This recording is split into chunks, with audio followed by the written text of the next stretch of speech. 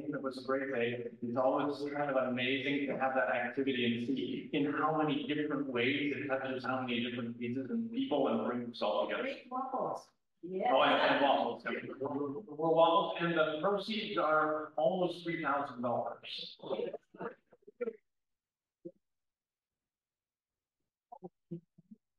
That's a lot of plants. Next week after the service on Sunday, there'll be a barbecue picnic on the lawn outside. Look for more information on the midweek message coming on Wednesday. And there is lots of other good information in the midweek message, so read it from beginning to end and uh, check out anything you need on our website. I took your long. Sorry. But la- last, a couple of last things, um, um, we want to do a special shout out to Phyllis Holtz. Uh, many of you know Phyllis Holtz, and she's been a kind of a regular on Zoom. I don't know if she's there today because we had a slow start. Um, um, but anyway, it was Phyllis's birthday yesterday, uh, which was exciting, but even more exciting that she came and spent it with us at the plant sale. So, so lovely to see you, Phyllis. Uh, and I'd also like to toss in another you to Helen Files who, who made this great PowerPoint for us, uh, today with some lovely pictures. I think that's it. Let's move on. Okay, Uh, so next we did land, uh, uh, land acknowledgement, right? landing on, that's right. So I was thinking that, that because this is this service about science and knowledge and ways of knowing, maybe we should have a, an acknowledgement that kind of reflects the knowledge of indigenous people who lived in this landscape over the millennia. Um, and that, that that's very specific kind of knowledge that indigenous people have because they have this long lasting relationship with a place. and you Can't get better knowing than that. And seven generations they worked with. Seven generations. That's their cycle. That sounds a little biblical, or something. Okay. Um, so, um, how about something like this? If someone was green there, so let's just read it together, or I'll read the first little bit and then we can read that, read the whole print together. Um, we begin by acknowledging that the land on which we gather is the traditional lands and territory of the Kanien'kehá:ka, um, Huron, Wendat, Huron, Wendat, and Anishinaabe peoples. Today, we remember and honor the history and traditions of gather, keeping, sharing knowledge of these lands. and waters. We commit ourselves to counting the ongoing process of recognizing this knowledge. Delivering from the that what we need. Thank you. Also, we were gonna do some introductions. Uh, just because, you know, you might not think we have any credibility here. Hopefully you'll have to work out. Hey, hey, I, I read science article on the internet, I think I'm called. Qualify, absolutely, but, but we don't really know all that much about each other. But so we can just introduce each other on the basis of that, and, and all I need to know about Christine is that she's an engineer, and she, her engineering stuff is about something about blowing things up. Like, Yes, my, my, my company is actually called Pyrogenesis, so everybody else is pyromaniacs, and we are. We, we, we really high temperatures to uh, break things down and start over. Yeah, uh, Now, Eric, on the end of it, whenever it kind of comes up in a spiritual in our community about seeds, he always knows a lot.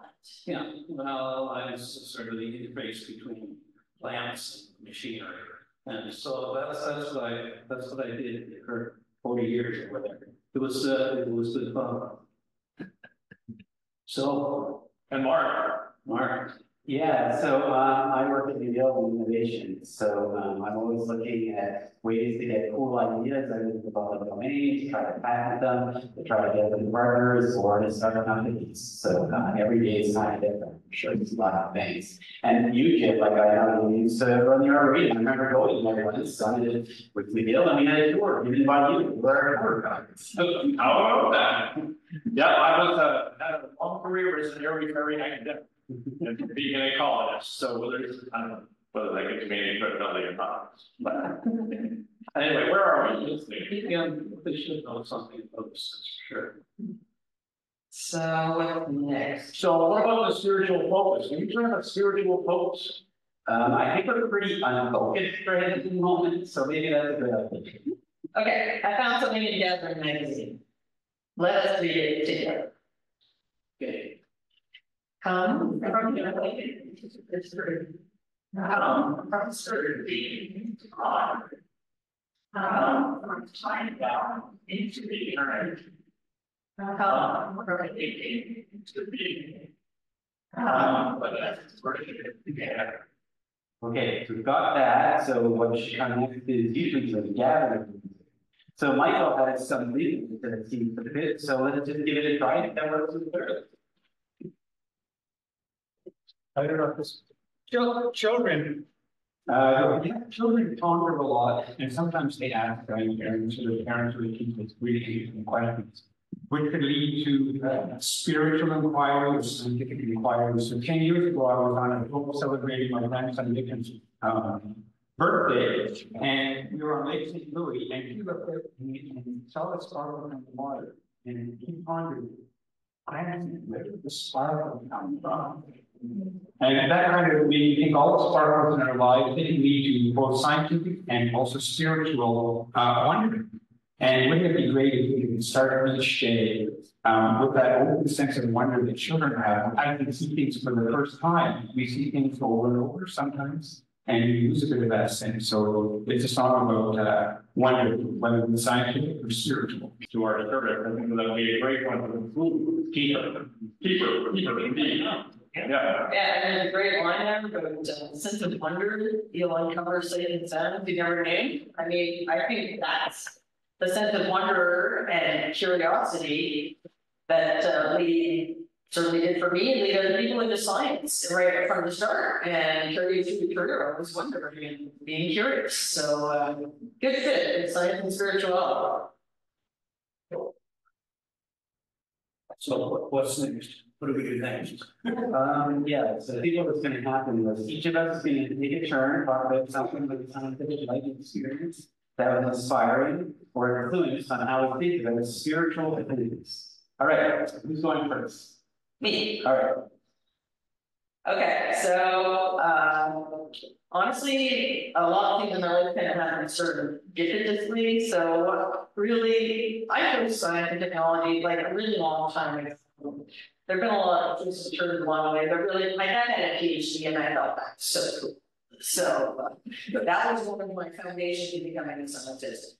Um, anyway, but I got to graduate school and uh, I really enjoyed doing my own thing, like, uh, I had my lab, I had my samples, I corrected my experiments every day, I made my little measurements. Put my data on a nice old fashioned piece of graph paper and showed my supervisor.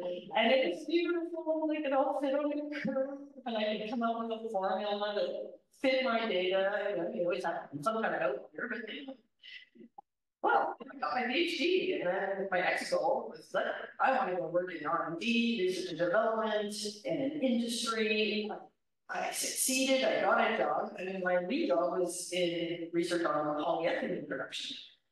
Well, polyethylene is a uh, substance made of multiple ethylene molecules all linked together, and all kinds of, you know, uncountable number of chains of varying length. And like this was completely eye-opening because it was on a big scale, lots of stuff going on, all kinds of inputs and outputs, and measurements.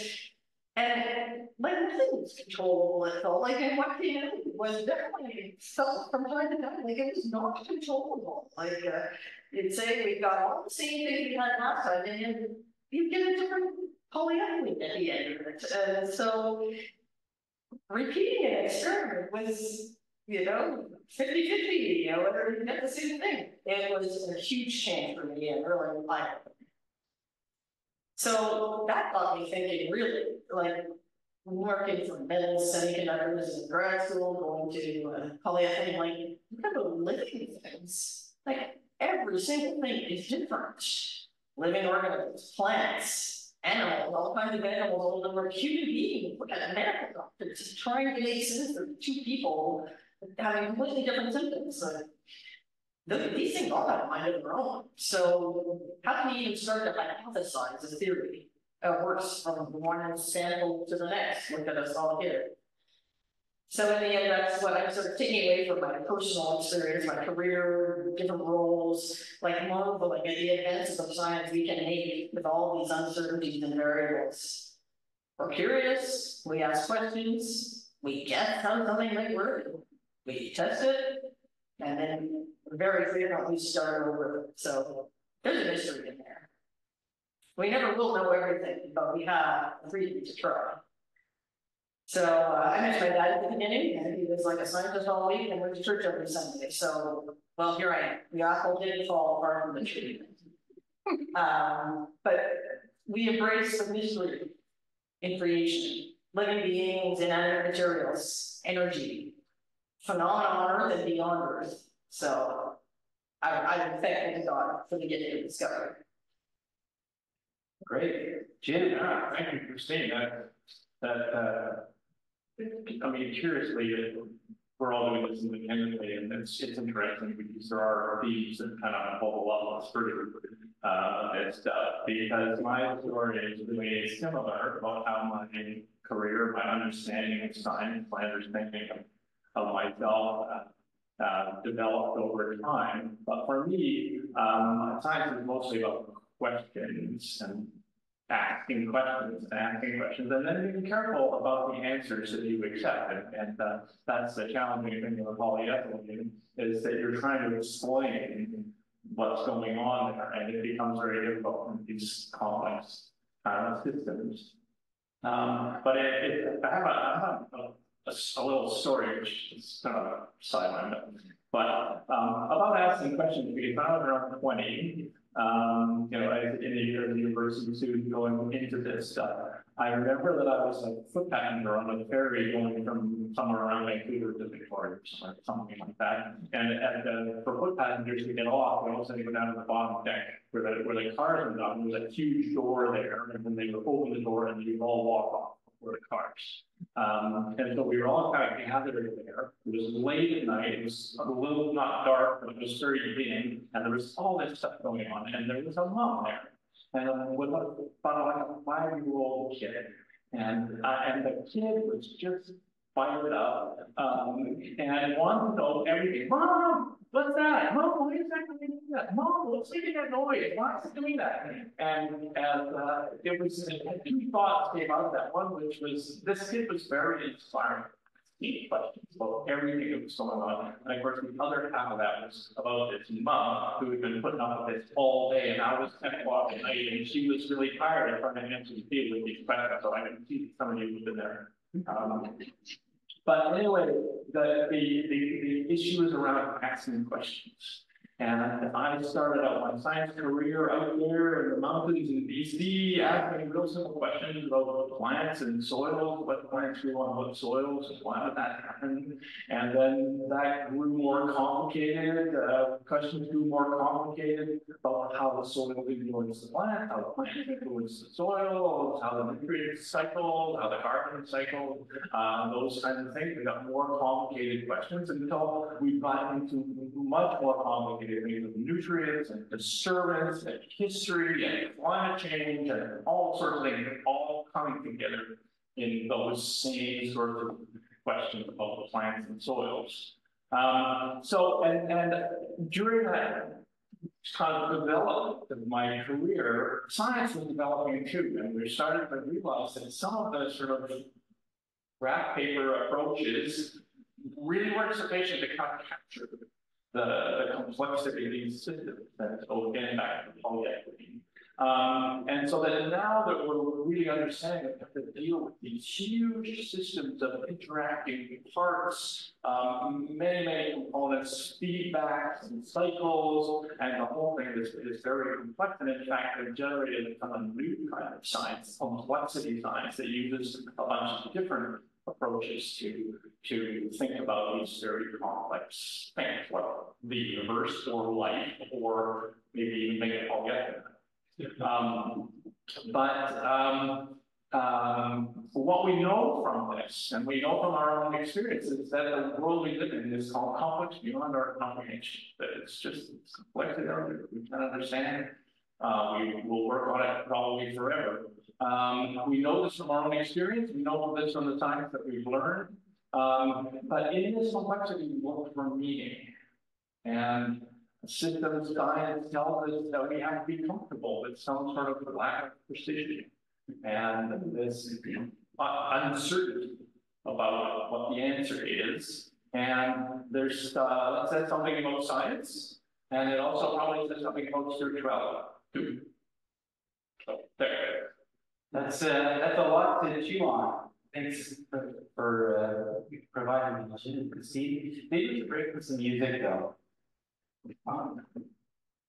Oh, yeah, but what do we do? Now, music, when we, like, I was looking through the inbox, you know, and there's like almost nothing about science and spirituality. If Anybody got one? Anybody got one? We can have a suggestion. Well, yeah, maybe there's a bit of a gap between, you know, the scriptures of the, uh. You know, that, that often makes its way into the hymns versus, uh, science, like, the kind of came along with later, but. So, um, there's a nice song we used to sing, about spirituality at least. Remember? So, something, spirit, something. Spirit something. How's that go? Spirit, spirit. Then, oh, oh, we used to sing all that. Spirit of life, okay, let's, let's be, let's try spirit of life, spirit of life, it's pretty short, so we're gonna think twice. Okay, I think it's three, will be up on the words up there, or vice versa. Um, Michael, take it away.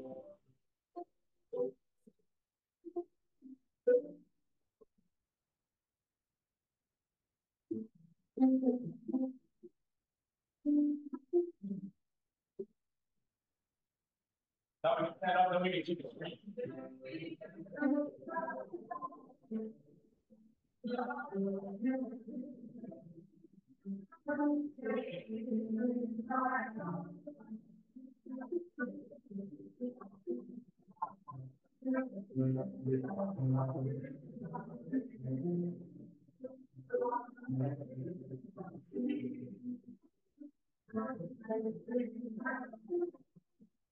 That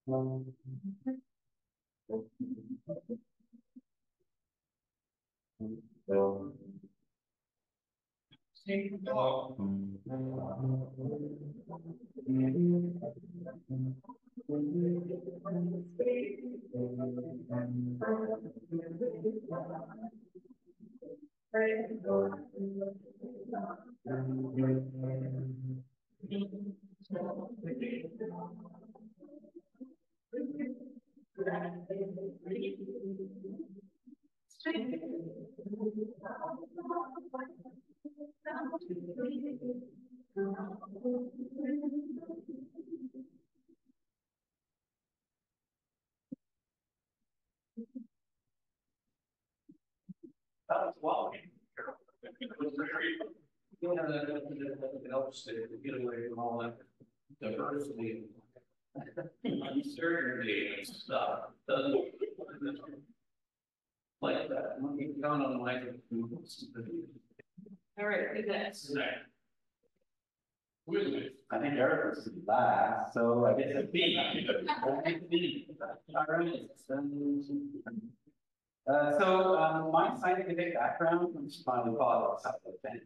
My grandfather was an engineer, my dad is chemical engineering prof at McGill, and my three brothers and I are all engineers. All engineers too, so it's, it was good family conversation. So science and engineering was all around. As my faith background, I was raised in Catholic, I went to St. Edmund's Beaconsfield for elementary school, I was an altar server for mass. My parents were very devout, went every Sunday to church. And even when I was living on my own, when I was in graduate school at McGill, I went to mass, usually at St. Patrick's Basilica, and um, used to see Brian Mulroney on occasion. I always saw Brian O'Neill, who was a vice president of the NHL at the time. So, um, so growing up Catholic, like the structure of mass was uh, extremely familiar to me. Even now, I could probably walk into any Catholic church on a Sunday and recite the prayers word for word. So that's just how it works. But, but over time, I kind of started struggling with these rituals and rules, kind of the sameness of it. And, um, some of this stuff kind of resonate with me. So I started speaking to my dad about and saying I was questioning some of the elements of faith, things like all being infallible, etc. So, so my dad was literally the smartest person I had ever met. And he told me, no, that's not how it works. See, Catholic, you gotta take the whole package. So, so it's charity made the parts that I wanted or me. It's a proverbial in for penny, in for. So that was the discussions with my dad. That didn't work for me, because I, I thought the question thing, the answer to the question was even talking about it. So I since moved on, obviously in the church that is Christian, but uh, there were times when the science background and well, theological background didn't quite finish.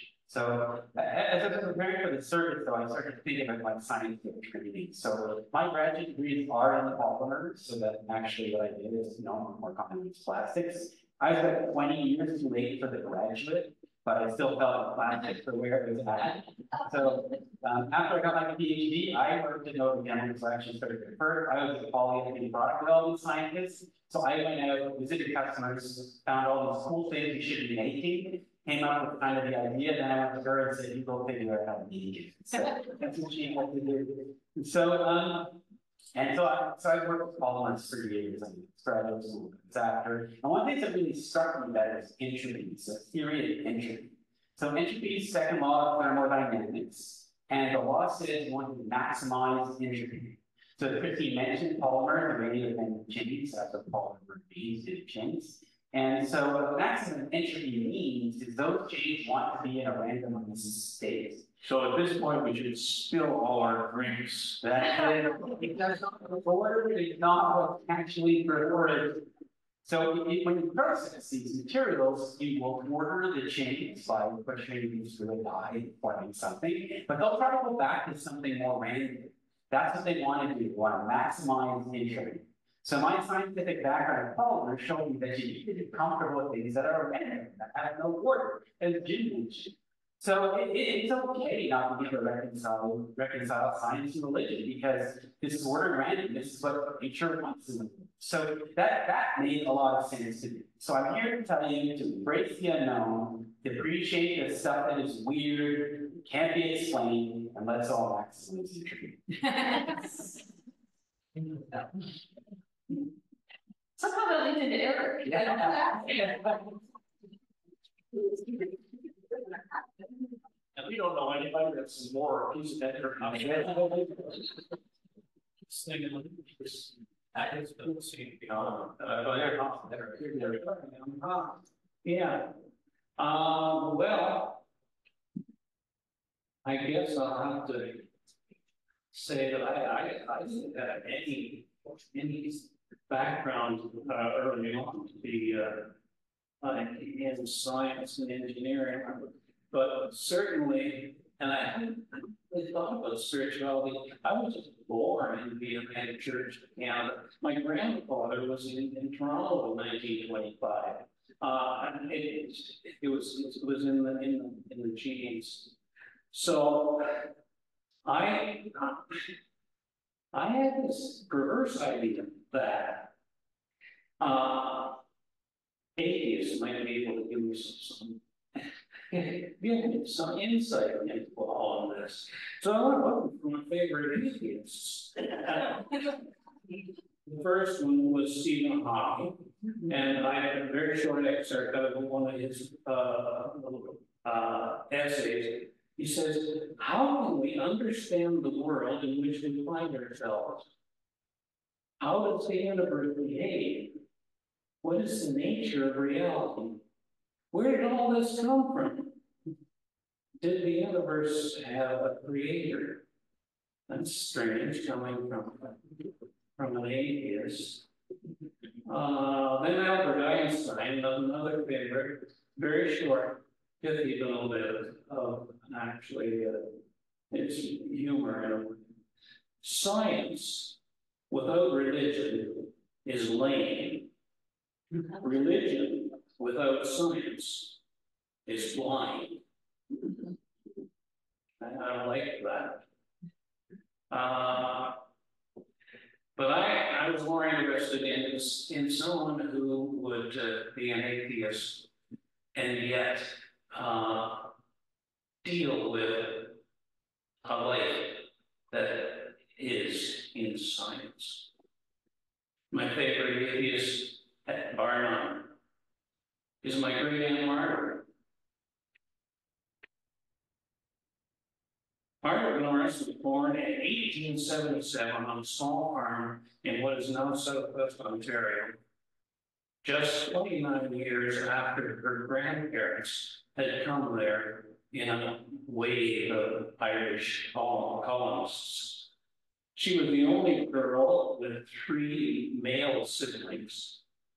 All those siblings were achievers, one a respected farmer, another a principal of a high school in Ottawa, another the principal of a teacher college in North Bay. Unlike most young women at that time and place, Margaret did not marry a local farmer and settle into rural life. Rather, she hurried through high school and by 1899, at the age of 22, she had graduated as a medical doctor from a joint program between the University of Toronto and Northwestern University in Chicago. Think about it. A female doctor in the 19th century in rural Ontario. She didn't stay there Soon thereafter, she took the post of medical advisor for Lord Kitchener's military administration in Allahabad, India. Remember, this is the British Empire. This is a different world than we live in now.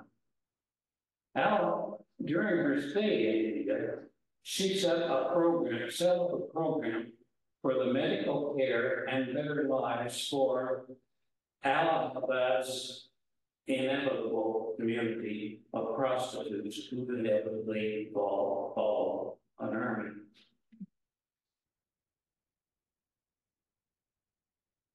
She founded a hospital for lepers during her, and during her stay, she married Canadian John Patterson, physics professor with the University of Toronto. When did she find it? It's fine. The, the, uh, before, the, the, as a, couple, they moved back to Canada and settled in Toronto. A little side note, during the voyage from, India to Canada, uh, an, un, an unmarried young woman uh, gave birth on the ship. And, you know, young, young women who were unmarried and, and had children were not, not treated very well at that time in, the, in the world. Uh, the young mother was completely distraught, knew that she was, she faced a really bad life. And uh, my Margaret and her husband uh, adopted the child and went on back to Toronto as a family. She distinguished herself in the battle against the Spanish flu in Canada here and worked on many social causes. Well, it was no surprise when Margaret enrolled and graduated from the University of Toronto uh, as a lawyer. She practiced family law and eventually became the first female magistrate on the bench of the city of Toronto. She retired after 12 years on the bench of the Toronto Women's Court.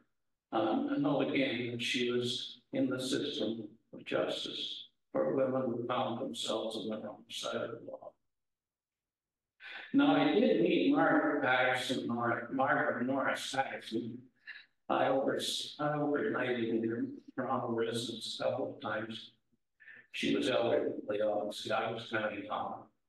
I remember a woman who, if you start going on about an infinite number, on an, an infinite set of parallel universes, she would shushed you and told you that she knew that the universe was scary and serious, and she respected that. But she had done the best she could with what she knew. She had looked at the world as, as seen at that time and had made it her business to make it a better place. And she was an atheist. Uh, that's not, that's not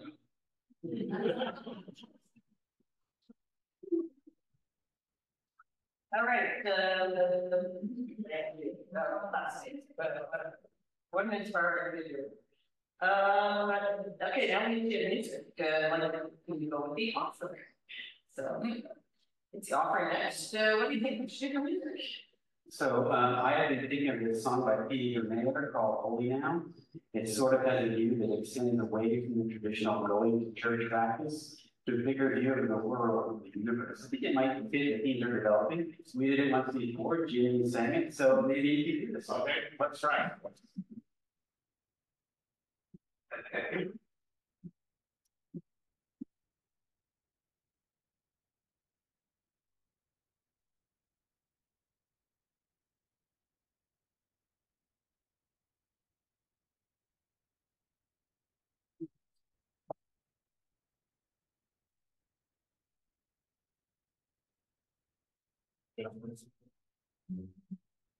Mm-hmm.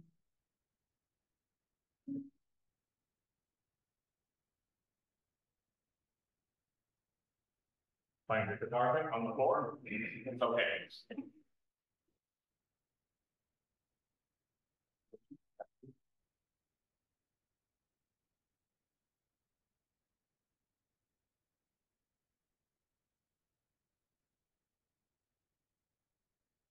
Um, um,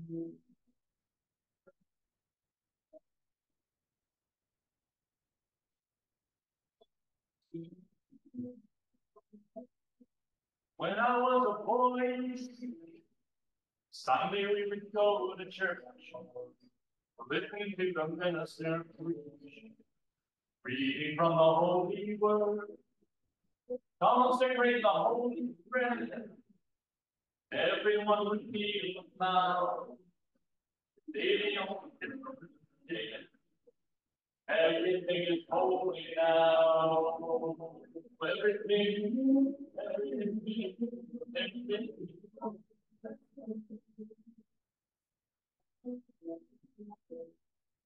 When I was in Sunday school, we were learning about the time and the skin can make a water wine. I remember feeling the sky. Think miracles don't happen still. Now I can eat that.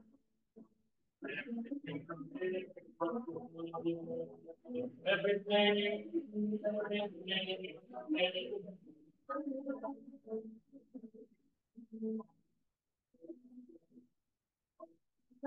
everything.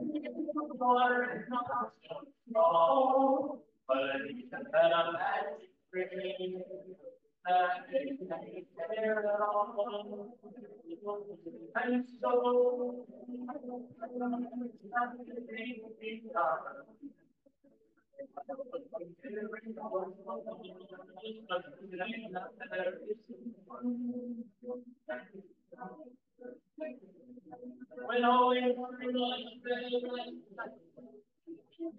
what my opinion is, but I to hold back. I was of seeing But you know what I'm Rain now. But I want it with the rain. Everything is with that. It's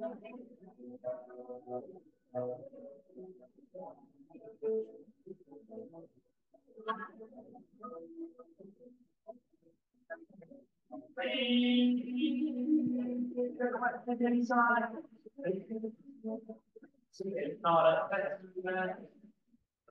but it's very hard to say.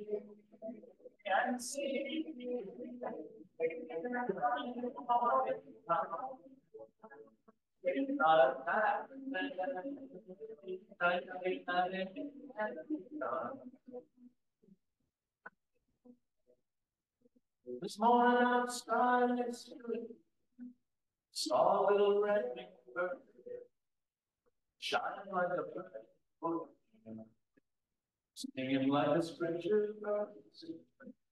It made me want to bow in the hill. I remember when church let out, how things have changed since then.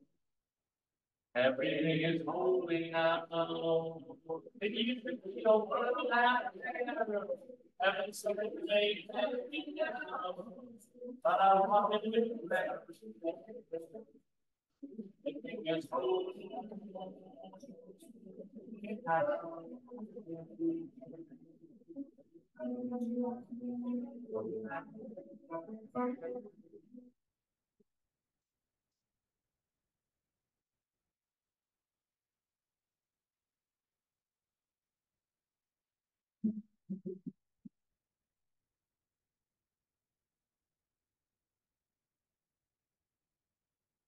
All right. So, uh, Lynn, thank you. Can you hear? Lynn? Uh, we're gonna go straight into the, uh, prayers of the community for today as part of our dedication offering. Thank to God for all the gifts we received. Thanks for all that we did back. Let us pray.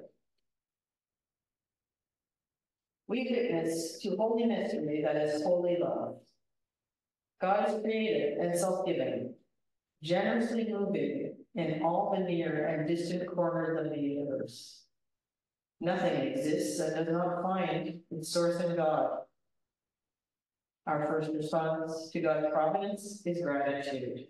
We sing thanksgiving. Finding ourselves in a world of beauty and mystery, of living things, diverse and interdependent, of complex patterns of growth and evolution, of subatomic particles and cosmic swirls. We sing of God the Creator, the Maker and Source of all that is. Each part of creation reveals unique aspects of God the Creator, who is within creation and beyond it. All parts of creation, animate and inanimate, are related. All creation is good. We sing of the Creator, who made humans to live and move and have their being in God. In and with God, we can direct our lives towards a right relationship with each other and with God. We can discover our place as one strand in the web of life. We can grow in wisdom and compassion. Oh God, we are grateful for the many gifts and talents we have received. You have endowed human beings with curiosity, with the ability to question and hypothesize, and with the freedom to use our knowledge as we choose to find answers. Bless those who use their knowledge to solve problems and enhance the lives of all living things on our precious earth. May they know confidence and strength to continue in the face of obstacles and setbacks. Bless those who work for harmony and understanding in our increasingly complex world. May they help us work together for a common vision and goal. We bring our concerns to you, not just our own, but for all who are unwell, unsure, alone, grieving, or experiencing other challenges. May we feel your presence in these difficult moments. We bring our joys to you, celebrations, new adventures, discoveries, accomplishments, simple pleasures. May we treasure these gifts of your spirit and share them. And let us join together in the spirit of the prayer Jesus taught. Should be on the screen. Good, caring presence within us, around us, and above us. Who hold us in a sense of mystery and wonder. Let the fullness of goodness be within us and around us. Let us always live in the ways of caring and generosity. May we find we have all we need to meet today without undue anxiety. Overlook our base stupidities and help us to lead others from their stupidities. May we all know that we are strengthened and we will reach out to them. Always with the faith to rise love, under the reality of our existence. We celebrate because we have through the richness of life's possibilities, the power to be good and the triumphs of good. The moments when we have seen glory and wonder. You, richness, you,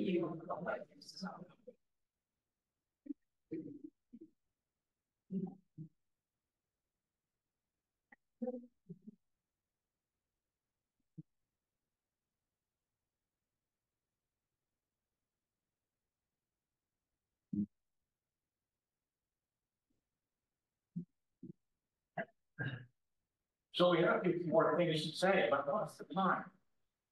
Yeah, favorites. You got a few minutes? Okay. Two minutes each. Oh, You got something for two minutes? Oh, I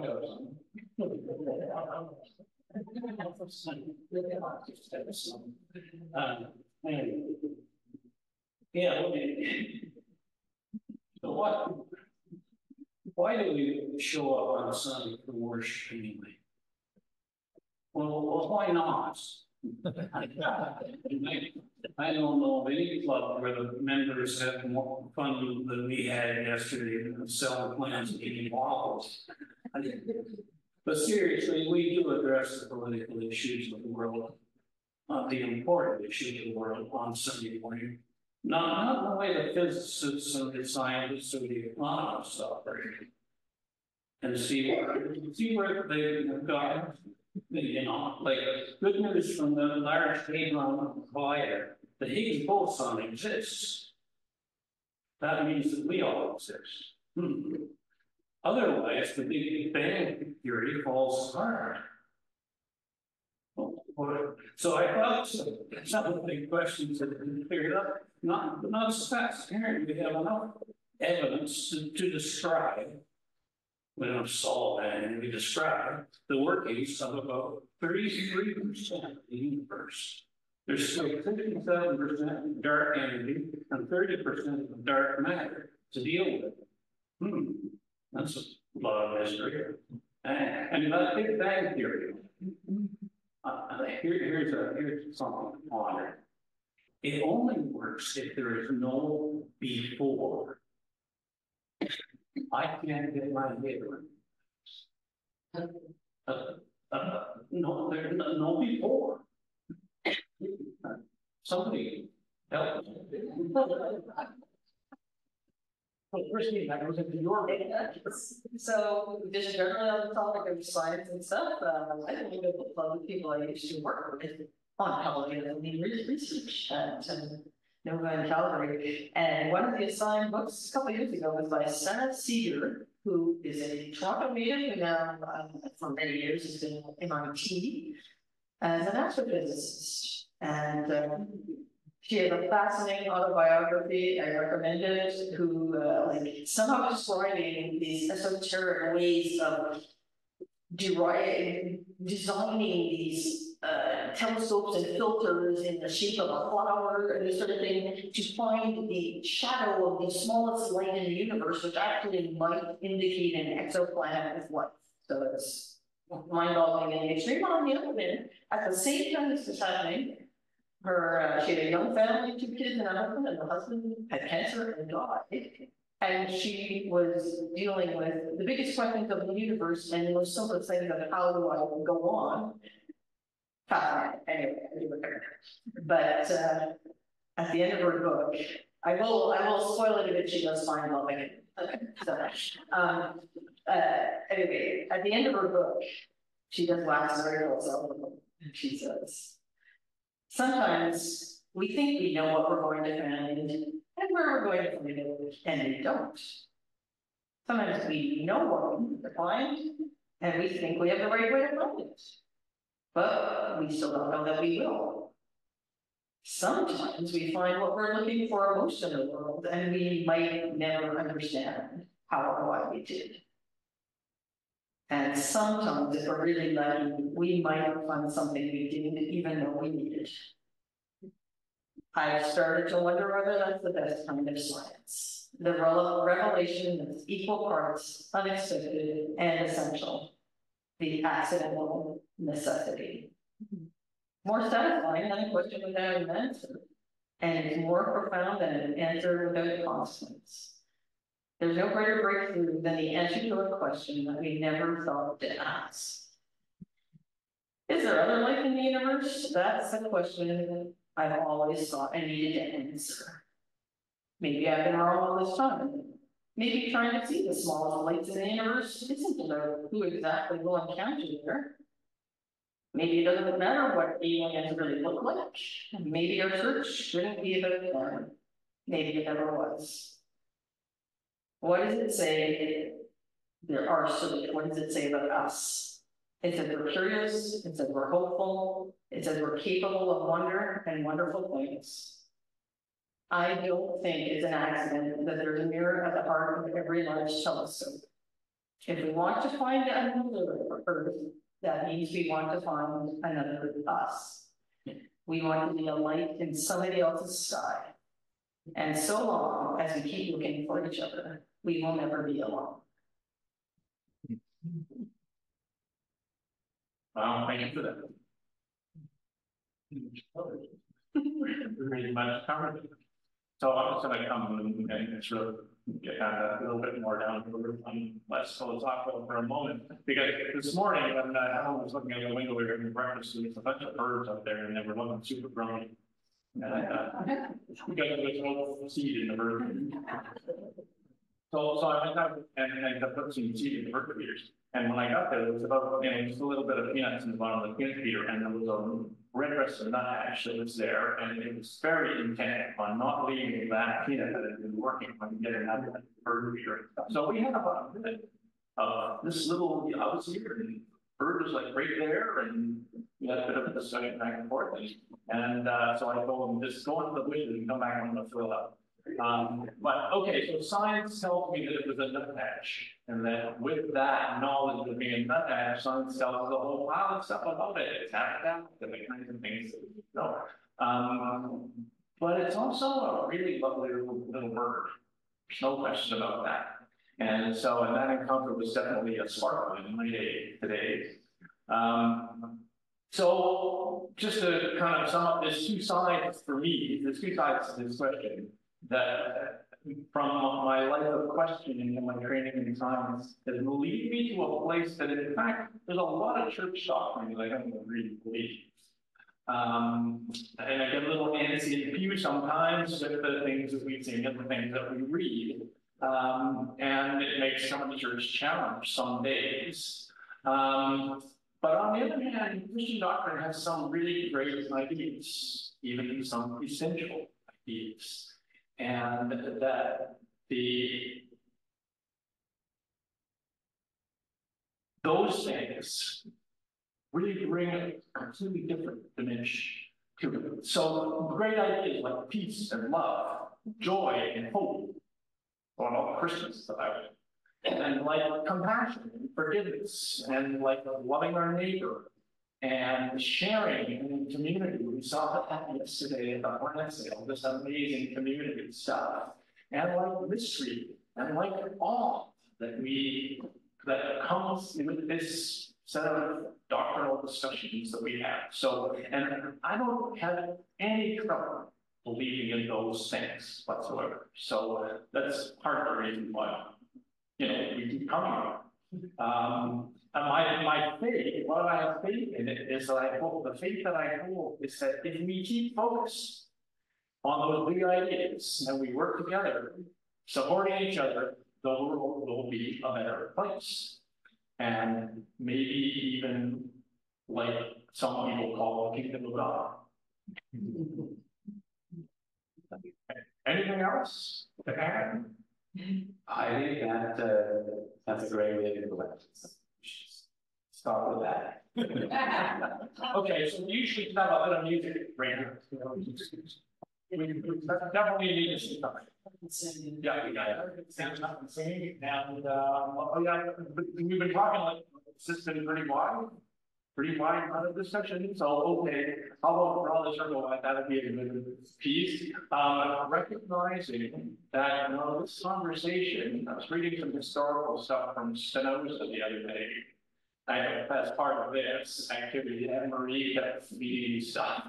Unfortunately, she's not here today, but think she, fed me a lot of really great stuff. And it was pretty clear to me that if we had had this discussion about seven hundred years ago, we probably would have been burned as heretics. No question. So anyway, let's sing.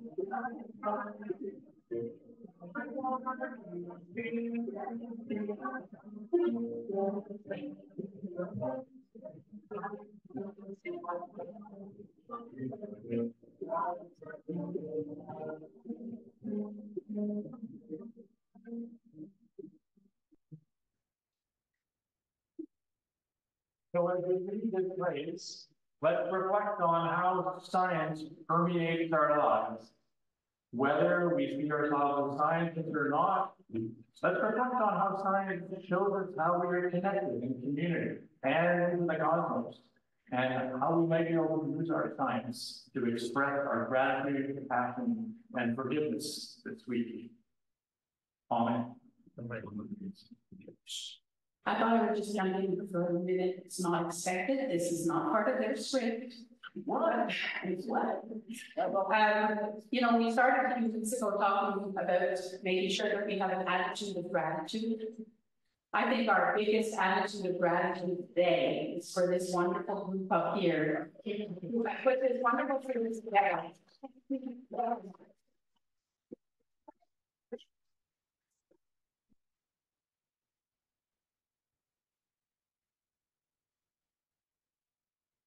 So we have a, of course, another song. There's always another song.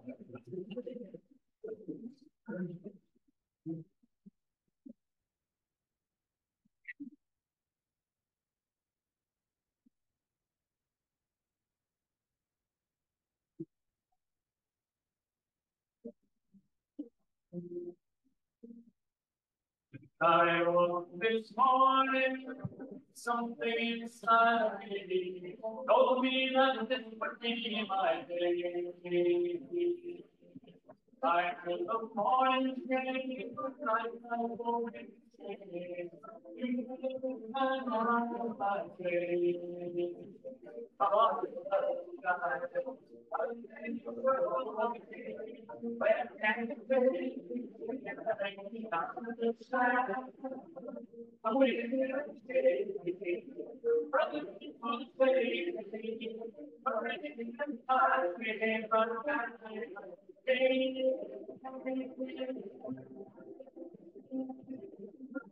the bottom.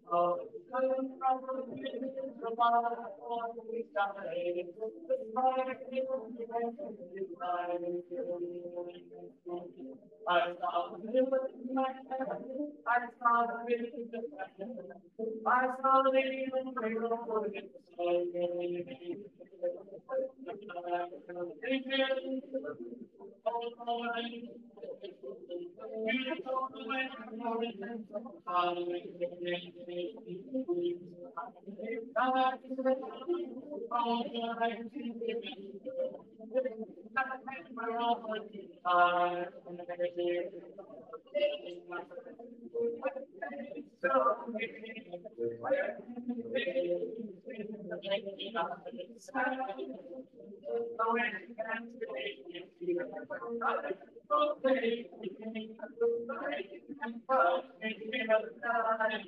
my face.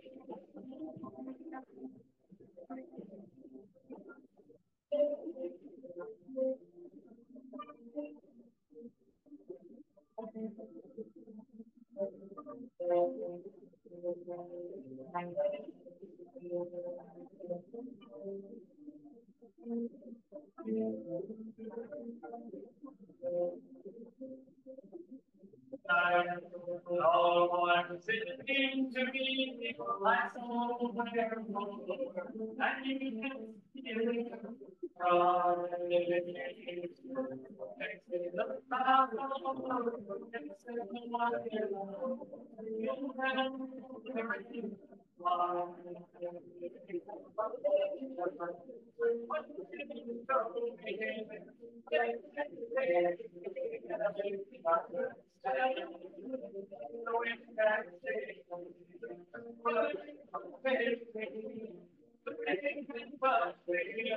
from